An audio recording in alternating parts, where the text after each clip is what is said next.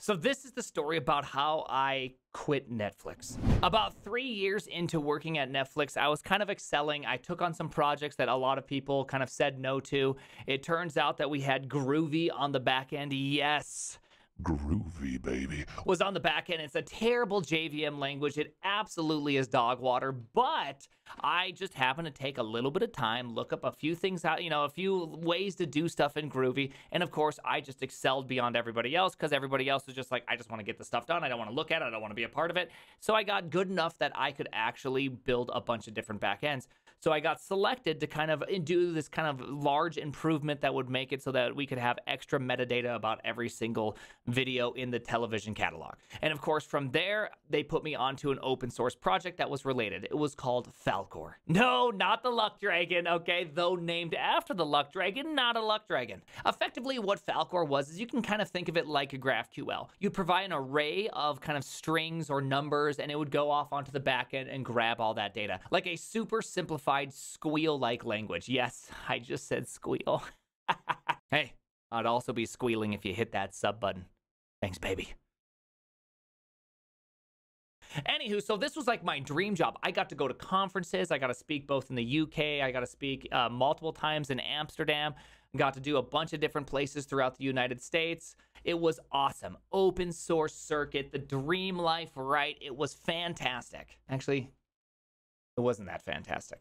Now, I think in today's day and age, that that really is the dream life. That is what a lot of people kind of aspire to be, working full time while getting paid while working on open source. But let me tell you, uh, I I would I really had a hard time, and this is the reason why. We are a small team, about four of us devs, all working on a couple different products for the UI kind of team. We were called a UI platform at the time, and during this, one of the roles was kind of like a non-coding architect, really deciding how things should work. And of course uh, this role kind of appears from various companies, and people really have strong feelings about these kind of roles. Me personally, I greatly dislike non coding architects. Reason why is I feel like they get so abstracted from reality that they start building things that, though they look great on a whiteboard, we're talking lab coats, mwah, clipboards, those little goggles to protect your eyes. Things are looking great, but when you actually implement it, it's nothing but a dumpster fire of logical inconsistencies and all those other things. I just I just can't stand it. So of course this was going on and for about a year, I just like I was programming like 60 hours a week. I was putting in so much effort and it was just starting to feel more and more soul crushing. And I can still remember it must have been December 28th, 29th, 27th, shortly after Christmas, walking into my backyard at like seven at night, having a long conversation I did not want to have, discussing some of the internal details about Falcor. Oh, we want to make this pivot. Oh, this is actually going to be the greatest, most ergonomic, most developer experience change in the universe. And I remember that was kind of like the moment I snapped, right? Like I could not handle this project anymore. I became pretty dang infuriated with it. But at the same time, something else happened. I had another coworker who was working beside me also feeling a lot of the same weight and he really kind of reached out and kind of started pouring out his uh, you know his heart in you know the best way that he could and of course I was much younger and much dumber at that point and I didn't catch it at all right in a sense that I was just like yeah I'm kind of upset too but that's about it right I didn't hear him and I really look back at that as one of my bigger failures in that moment and really of just of my lifetime in the professional sense. You know, having someone come to you and tell you these things and not really try to be there for them, try to help lift them up, or even approach your boss, you know, with their permission, of course, and really try to create a better team conversation. I really wish I would have taken the control of the situation that I would do today.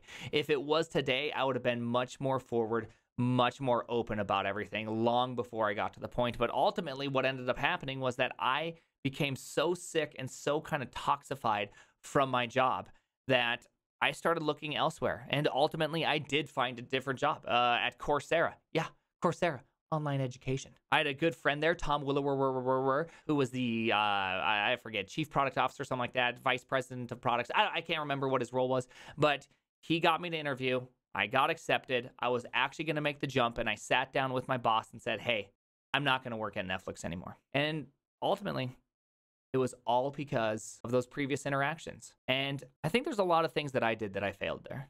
I really do wish I would have taken more time and understood how I felt and kind of really, you know, judged myself in a more sober tone. And ultimately, I really wish I would have been there more for my coworker. I really wish I could have turned around the team and helped because in the end, a couple people, you know, within this area, actually a few people within the area got fired, which is sad.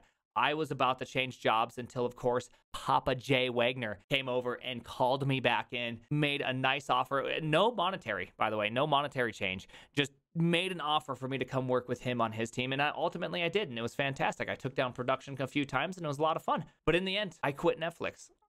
And it's because I didn't have the communication and the talks that I should have had. I wasn't understanding myself as well as I should have. And so if you find yourself in those situations, you got to speak up. You got to approach your boss. And if your boss and your coworkers aren't good enough to listen, like I wasn't good enough to listen, right? You know, I, I I failed my coworker, but ultimately my boss should have also been there, listening and making the situation better which didn't happen. And it led to a lot of, uh, you know, probably a lot of heartache. If you work at a company that doesn't support you in that kind of sense, that doesn't understand that things are kind of going wrong, that it's only causing more and more tension, you probably need to start thinking about A, how can you improve the situation? Or B, is it time to leave the situation? And I just chose B without considering A. Big mistake. Make sure you consider A because often you know, bosses are motivated to make you, you know, happy. They're they're there to make a team successful. And so there's a lot of change that you can enact by simply speaking up and being confident and pushing forward what you think is best. So that's the time that I quit Netflix. But hey, I still work at Netflix. I still really enjoy it. That was about 5 years ago. And look at me now. I uh, work on dumb things and write C++ from time to time. Thank you for watching. Hey, subscribe to the channel already. Give this video a like maybe make a little comment. Have you ever had a situation in which you affected change, wish you would have looking back? Or have you ever been on the other side of it, the firing side, the side in which you wish some other coworker would have stepped up like I should have done for mine? My name's The Primeagen. Thank you. Thank you.